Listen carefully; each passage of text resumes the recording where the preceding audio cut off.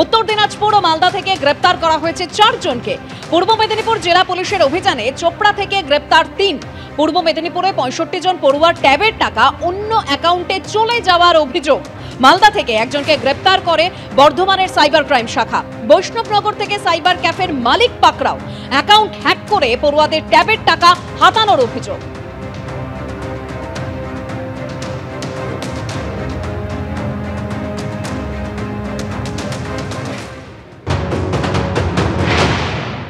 Thirty first অক্টোবরে আমাদের এখানে সিএমএ স্কুল থেকে একটা কমপ্লেন আসে।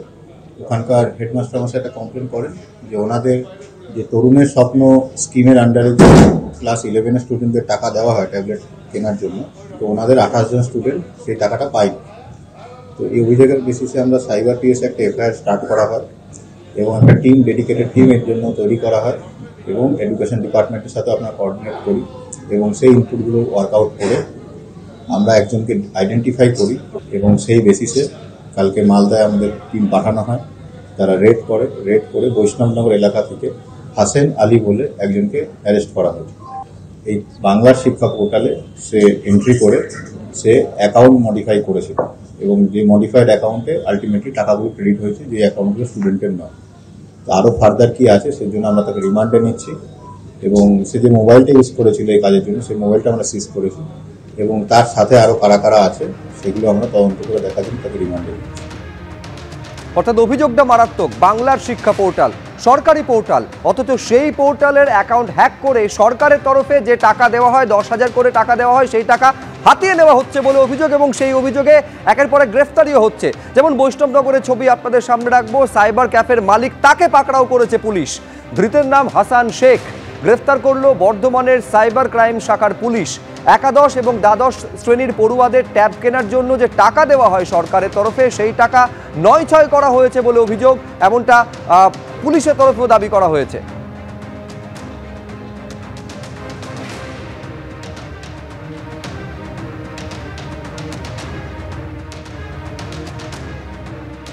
সে গ্রাম্য কর্মী, সে আমাদের ভোটার।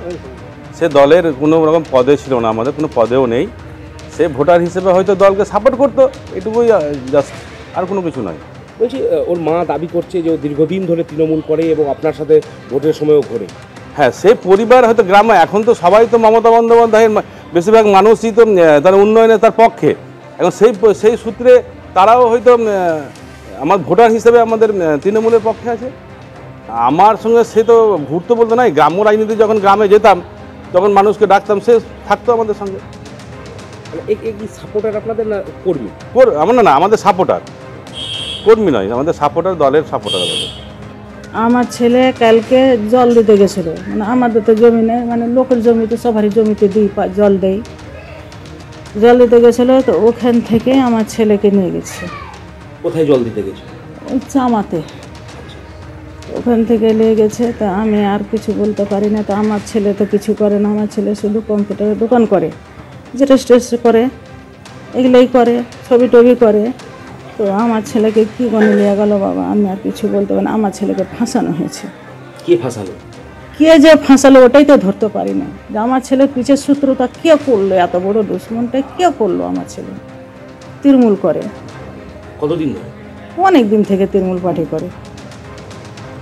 হ্যাঁ অনেক দিন থেকে তৃণমূল পার্টি করে আমার ছেলে।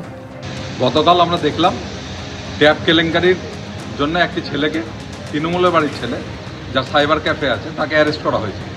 এবং এর থেকে প্রমাণিত হচ্ছে যে সারা পশ্চিমবঙ্গ জুড়ে তৃণমূল এই একটা চক্র তৈরি করেছে যেখানে বিভিন্ন স্কলারশিপের টাকা ছাত্রদের ট্যাবের টাকা বন্যাত্তানের টাকা সাইফোন হয়ে অন্যের অ্যাকাউন্টে গিয়ে একটা বড় দুর্নীতির আকার নিচ্ছে।